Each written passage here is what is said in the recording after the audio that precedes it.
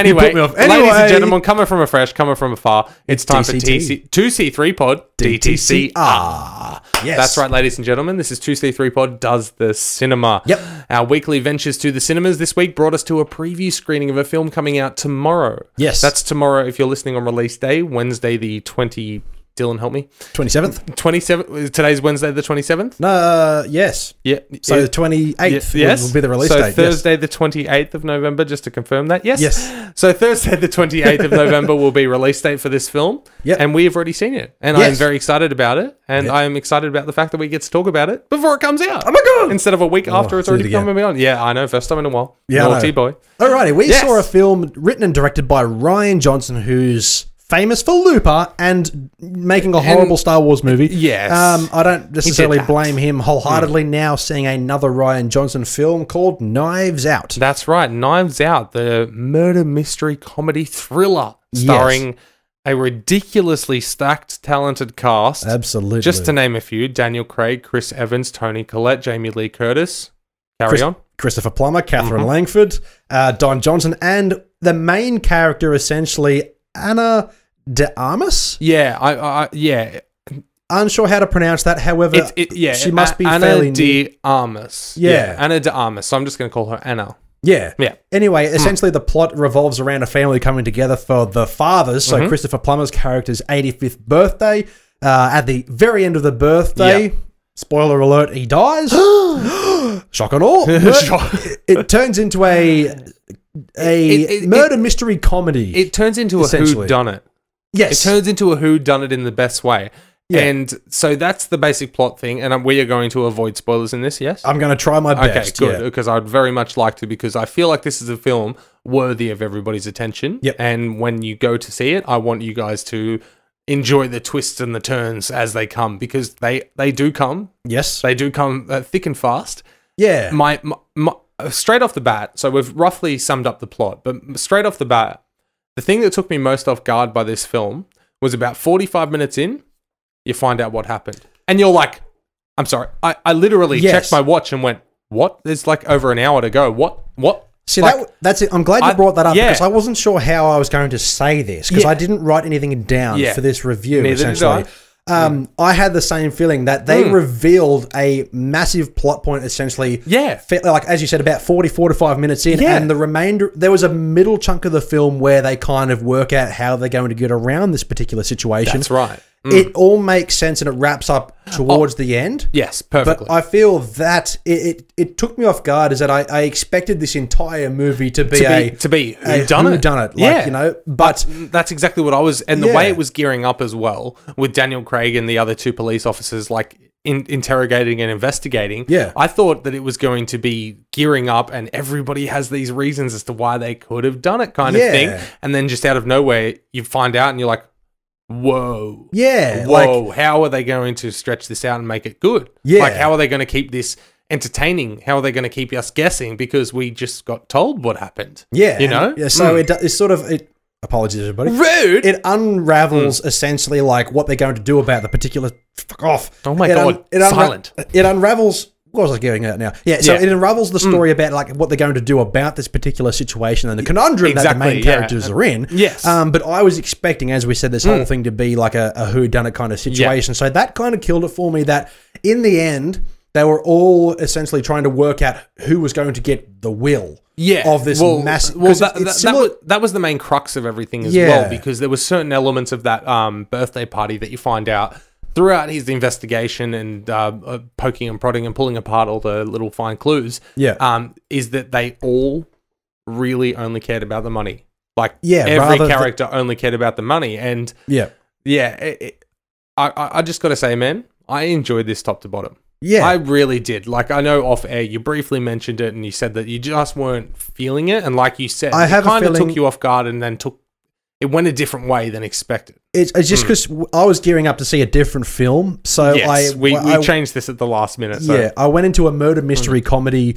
Uh, expecting, expecting, a, a, comedy horror. Yeah, well, not expecting for this direct movie, but No, no, no, I was in the mood for a different movie. Yes. Um, Daniel Craig, who plays uh, Benoit Blanc. Benoit Blanc. Oh, Blanc. Uh, That's right. uh, yeah, like, it's, it's Blanc. he's Oh, a very highly Kentucky uh, character of a private investigator, and it I- took me like two like like an hour and a half, like pretty much the movie's length to kind of get used to his accent. Really? I really enjoyed it. Oh, thank God! I Because, really- because the second he finally said his first line, because you see him floating in the background a little bit. Yeah. The second he opened his mouth and started talking, I was like, he was made Yeah. for this. And I, I- loved it. I was paying so much loved attention to his acting and his vo- his voice the entire time to see whether he would slip up at all. Oh. No. because if there's one thing I hate, it's when actors who Hmm. are cast to play different. Well, not necessarily ethnicities, but different Yeah, no, no, languages, no. different voices. Yeah. like uh, when you hear like an American try and play a Pommy accent, or vice versa, Yes, or if they play an. Australian accent, like nobody ever does an Australian accent like an Australian. It doesn't no, happen. No. It- it- the well, closest it- we've gotten is Robert Downey Jr. in Tropic Thunder. That's the closest we've ever gotten. That sadly, that's true. But even in our YouTube video about top five Australian films, Yeah. I put on an Australian accent And it like sounded to say- terrible. yeah, I'm like dinky do, and I'm like, wait, why? I'm just talking normal. What the fuck? Like, yeah, Yeah. But no, I completely agree with you. And as far as I could see, he was flawless. Yeah. He was Yeah. flawless. Like Daniel Craig, he's my MVP for this whole film. Yes, absolutely. Like, uh, don't get me wrong. Everybody else on that list is amazing, and they Yeah. played their characters to a T. Yeah. But Daniel Craig is Benoit Blanc. yeah. He, he he's just oh, it's just so good. I want to see it again. Yeah, I, I re- do- I definitely really wanna- do. I want to go and digest it again and see if I can pick up the little nuggets along the way. That's why I hadn't written mm. anything down because I feel like if with a second uh, watch through, I think Yeah. Hmm. I would appreciate this movie a lot more and and realize things more than what I saw in my first run through. Because this Yeah, movie yeah. Definitely has its twists and turns. There'll be scenes where uh, like the characters will be speaking to each other, and then they'll have certain emotions which you think the emotions are in direct Yes. uh, connection to the conversation Hmm. when it turns out the emotion is actually them realizing something completely like Exactly. left field like Yeah. uh, chris evans uh, Oh. we all know he's a phenomenal actor and he was a bit of a left field casting choice for this film i feel like he was cast because of his popularity well, it seemed that way, but but because he's Hmm. so good at what he does Oh. and showing emotion in particular moments, fair enough, he comes in sort of happy go lucky, but things become a little more real. Hmm. my, uh, my, my favorite. Three quarters of the way through. I think Yeah, it really oh. conveyed that really well. So the 100%. storytelling by a bloke named Rian Johnson, obviously, like he's done a few hit and misses. Yeah. I feel like this is very much a, a craft of love and affection. Absolutely, this is definitely one that he sat down for a while and like Planned. and every single step, like Nook and cranny, uh, yeah. fine tooth comb. Yeah. But um, uh, Chris Evans, yes. Just speaking on him quickly, I thought the same thing. Where in the trailer he's a pretty heavy feature. Yeah. But I think it was around that forty-five minute mark where you find out what happened, kind of thing. Yeah. That's when he finally says his first line. Yep. Like he's very briefly seen in a couple of flashback scenes, Mm-hmm. kind of thing, and then yeah, he's just not there. Yeah. Even probably for even the first hour or so. And then he does become essentially like the main plot point Yes. for say like the the, the third quarter of the Oh, film. yeah. But at the in the last quarter, in the final act, essentially, each character in the family they all have an equal role to play. Yeah, Um, absolutely. as where the movie kind of spaces it out a bit. There is one actor though. Oh, Michael Shannon. I do have to shout out to. I love Michael Shannon in just Yeah. About fucking everything. Um, but there is one actor in here who I feel could have been played by somebody else because I Okay. feel that her talent was. I, I I feel that she Mm. could play better roles than what she was given here, and that's Toni Collette's character. Uh, okay, yes, I, I will say that. Yeah. Um, She I- played a ditzy blonde, which I feel could have been done by anybody. And yes, yes, but at the same time, like she really did bring something to it where, yes, she was a ditzy blonde, but she still had her little wits about her. Like she was still working the system a little bit and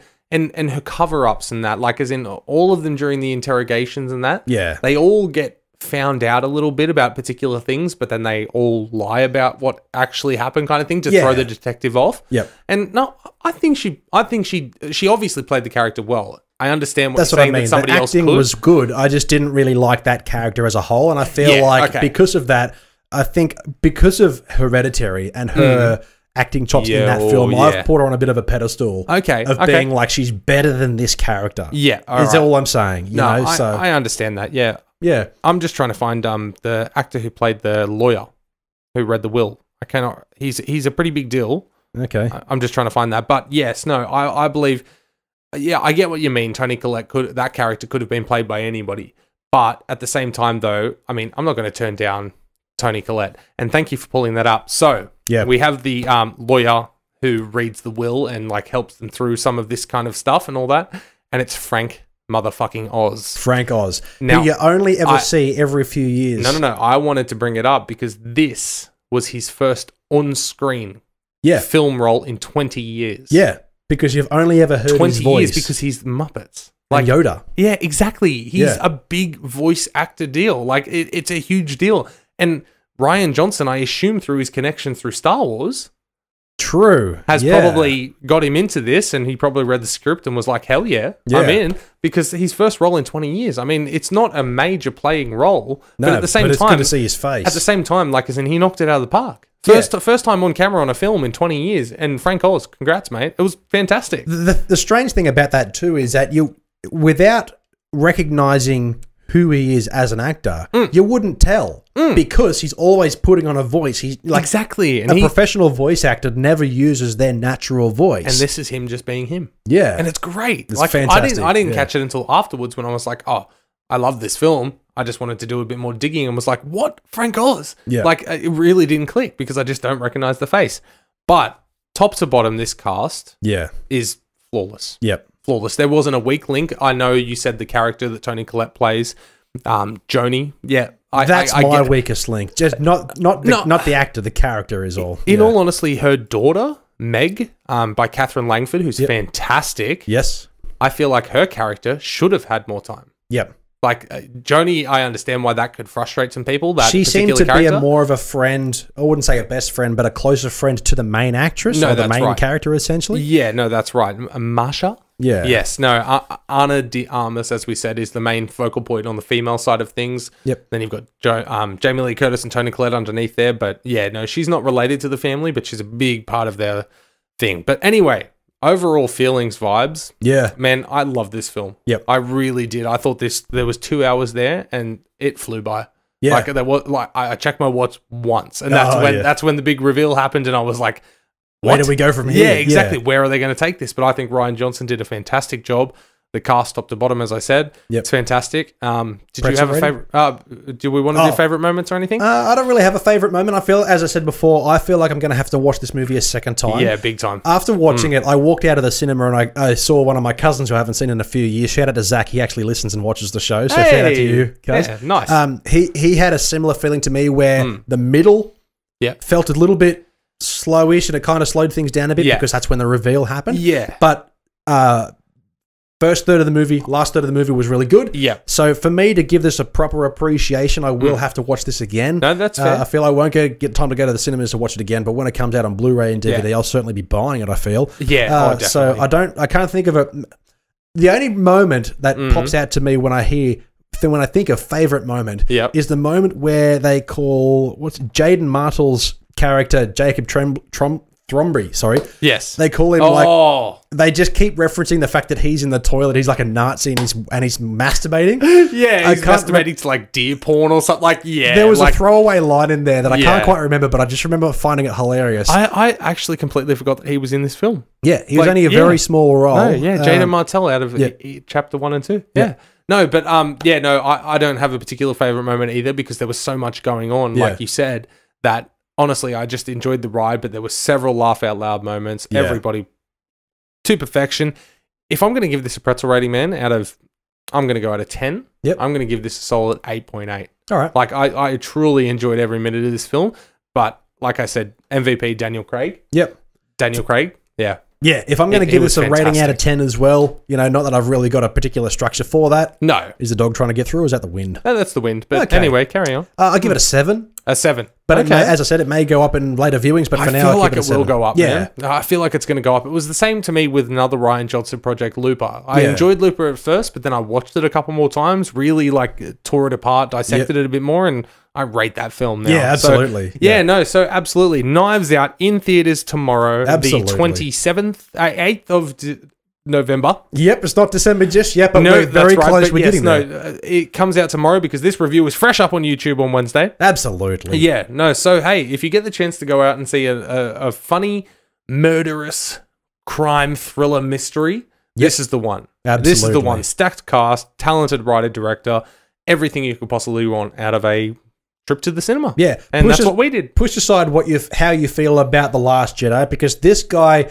you know, he may not have been the right choice for a Star Wars film, but he's great for these kind of mystery thriller sort of movies. you know, he's like great have for, he's great for property, properties that he is taking from the Yeah. ground up. Yep. So th- this is his property that he started with and wrote it from the ground up. Yep. Star Wars, obviously, he had a lot to work with. So yeah. yeah, but either way, Knives Out in theaters probably now when you're watching this, and man, go and have a good time because it is a great watch. Absolutely. And that has been our show. Yes. Episode, whatever number episode this is. You didn't catch that by the episode title? Nope. WD what? Nope. You have to explain that one too. WD forty. Well done. Oh, right. Okay. Well, get the duct tape. Get the duct tape. Anyway, Yes, Listen, but- whoa, that was a big crack. We are welcome. Two's Company Three's a podcast. You can find us on social media: Facebook, Instagram, Twitter. Hmm. Uh, we are everywhere at Two C Three Pod, as the picture suggests. That's right. And don't forget, you can watch or listen to us on Podbean, Spotify, Apple Podcasts, and YouTube, Big Summer Blowout. Now we have reopened our TeePublic store where you can find a T-shirt, a mug, a sticker, or a magnet, or a hoodie. I know the magnets is what I'm. I'm leaning towards that. Absolutely. If you do want to support the show in a way that you do get something in return, rather than paying into a Patreon that gives you what you already get for free anyway, Exactly. head over there and buy a T-shirt. It'll be hmm. with you shortly, and it's great quality. Go check them out. Coming up to Christmas, we need that extra bit of coin as well. Thank you. But if you Yeah. wanted to contact us directly in any regard, Two's Companies Reads a podcast at gmail.com. Absolutely. Hmm. We have two podcasts every week, every Wednesday and every Friday. We have four videos on YouTube every week whenever we can get them out. There's bloody heaps happening here. That's right. Lots of content. Dylan, next line. That's yeah, I forgot, sorry, I forgot Yeah, about no, that. you're well, no, that's fine. Next line. Thank you for tuning in. We are Two's Company. Wait, I no. I'm Mitchell. You're Dylan. And we are Two's Company. And you Are the podcast. Thanks for tuning into that video by Two's Company Three's a Podcast. Don't be sad though, there's plenty more where that came from. Another cheeky video right there. Maybe even hit that subscribe button and ring that bell. Or if you don't like our faces, check us out on Podbean, Spotify, Apple Podcasts, or YouTube.